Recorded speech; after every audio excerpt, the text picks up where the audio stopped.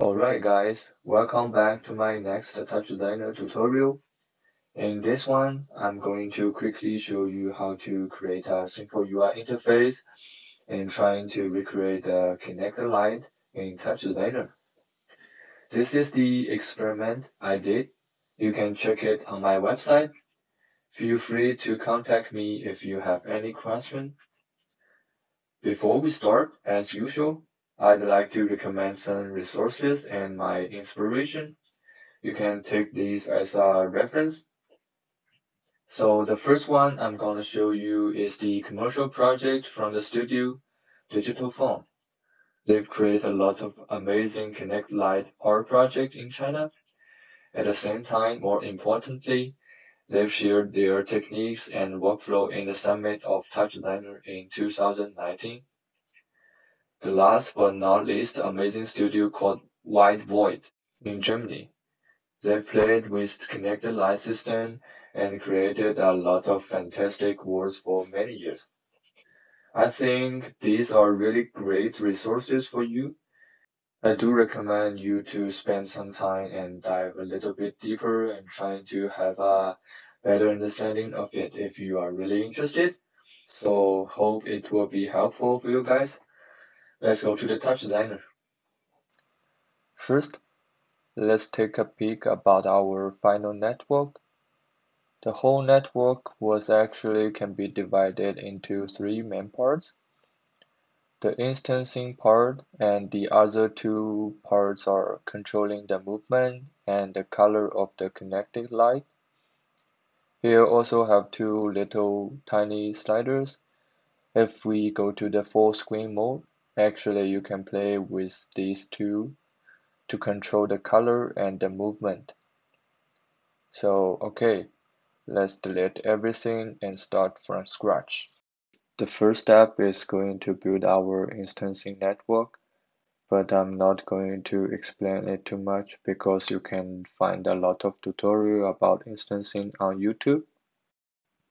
First, we need to find a sphere then connect to a null.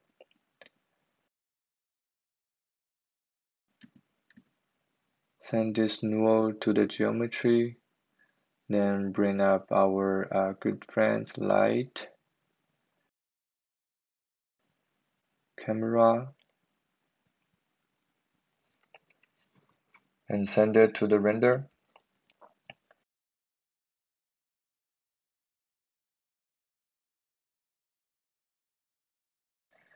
Connect to our transform. Go to the background color, turn the alpha to 1, and turn on the background. Connect to a null at the end, turn on the display. Then we can go to the sphere and turn down the radius to 0.1. Then give a material to our geometry in this case, we were just using a constant. The next step is find out grid to duplicate our sphere. Connect to a null and convert to the chop family to get our position data. Connect a null Go to the geometry, go to the instancing page, turn on the instancing, and put our null for on the top of default instant operator. Choose the TX, TY, and TZ. Right now I feel like our sphere is still too big, so I turn down the size uh, to 0.02 and we can uh, make our columns to 30 and also make our size a little bit bigger to 2.5 and 1.2 this is the important step. We need to let our grid facing down so we can choose our orientation to the ZX plane So this is the standard instancing render pipeline. In order to make it up and down, so we need to go to the instancing page, choose the uh, translate Y, and change that parameters. The next step is build our movement. So we choose the ramp. So here is the tricky part. We can check the information of our grid. It has 600 points. But in our uh, ramp, we have so many pixels. We have to make these two match with each other.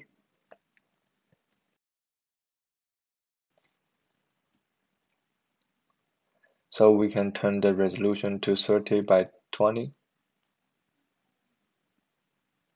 Now these two are matched with each other. Connect to a null and also convert to our chop family. We don't need the alpha channel since the RGB channel are the same so I just select the uh, R channel, it's enough. Connect to a rename in case we mistook our channel, so we change our name from R to Y. Connect to a null at the end. Or goes a little bit to our network it's always a good habit to keep our network very clean. In order to make the effect, we need to change the type of the ramp from horizontal to circular and insert two point and bring down the alpha.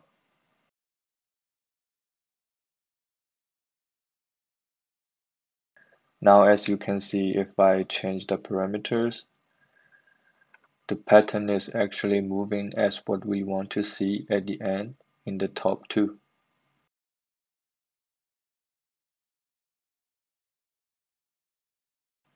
Then we can insert a merge and put our null 6 into the merge. Here is another point needs to be mentioned. So first when we convert the image to our TOP to, it is actually just grab one line of the image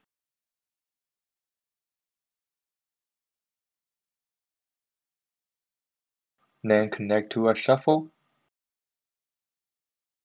Change the method to sequence channels by name. So we need to go to the crop and change the crop from row to full image so that we can get the full image data from the top. Now if I change the parameters, it is actually giving me all the data position in this top. The next step is go back to our instancing network and replace that TY with our new channel Y. This is how we use the top to control the movement of the sphere. It is already close to our final form. Now we need to change the view to put our lights in the middle of the scene.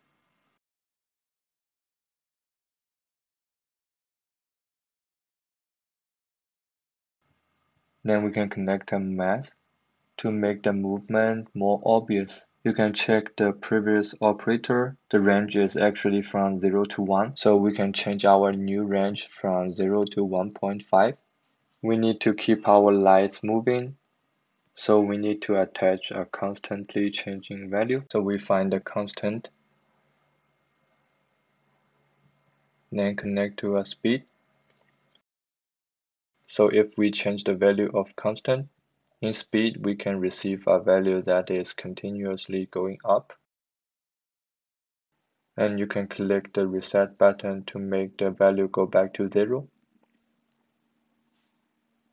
Connect to a null again then referencing that value to our phase.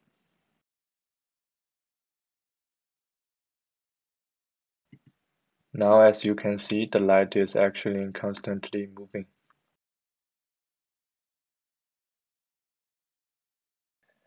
In order to create different movement, we can copy our ramp and just change the type.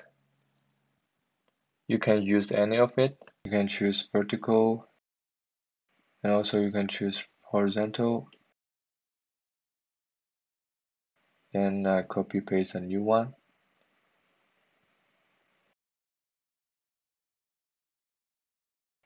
And choose radial.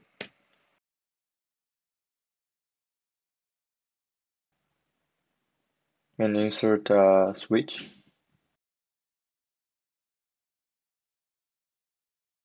Connect all the ramp to the switch. This is how we change the movement. If you played with the index, you can see the movement is changing from one to another.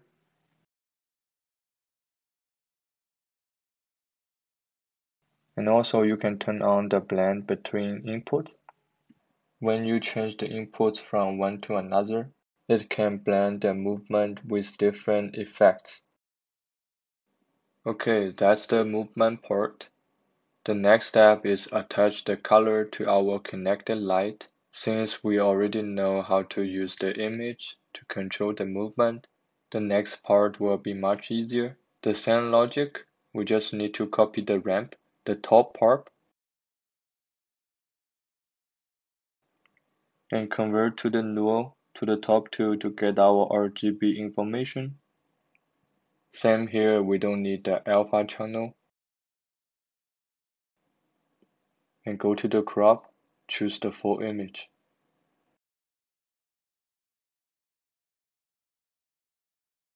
Connect to a shuffle. And choose sequence all samples by name. So we can get separate RGB channel. Connect to a null at the end.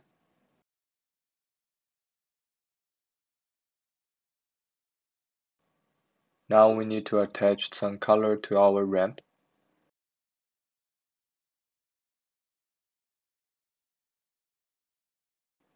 In here, I just quickly show you the idea. In your case, you can choose the color whatever you like.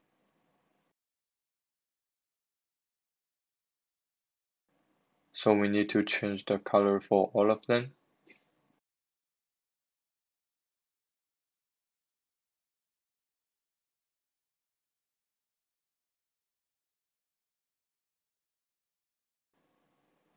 And connect to our null to the merge and send it to our instance network.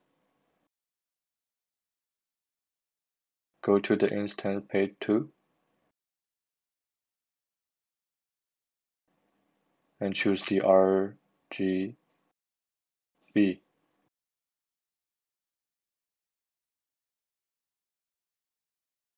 Now as you can see, if I change the inputs, the color is changing from one to another.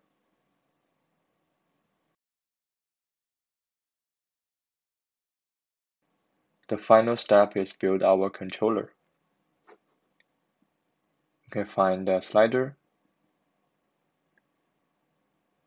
connect to a null, and click View Active.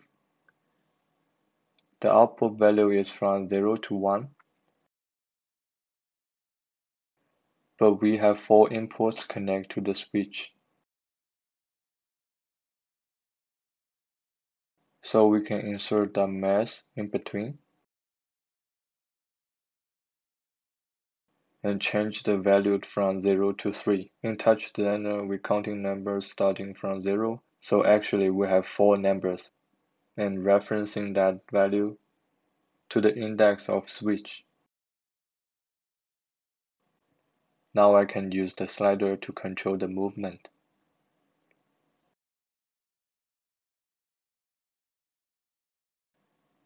Copy the slider again. Doing the same thing to control the color. Referencing that value to the index of switch 2. Now you are able to use slider to control the color as well. So this is pretty much all the things I want to share. What else you can do is you can go to the upper level, go to the log page of the container, and check our final output. It's called null2 and change the background top. Now it's the background in the container too. Now I want to check it in the full screen mode. Make sure the borders are off and the opening size are setting to the fill. Hit the perform button Now you should able to play it with the full screen mode. You can change the color and movement through two different sliders. Hit the escape key to go back to our network. You can make more sliders or buttons to make specific control. And also you can make a feedback loop at the end and trying to see what will happen. Of course, the important part is about color and movement. You can add more operators in between to control the effects. For example, you can insert a blur. As you can see, if I change the pre-shrink filter size. So the transition part, the edge part will become more smooth. In this tutorial, I just introduced a very basic technique about how to visualize the kinetic light in TouchDesigner. There's a lot of possibilities there. I encourage you to check the resource I recommend in the beginning. It is really helpful. Feel free to reach out to me if you have any questions. Okay, see you in the next tutorial. Happy programming everyone. Take care.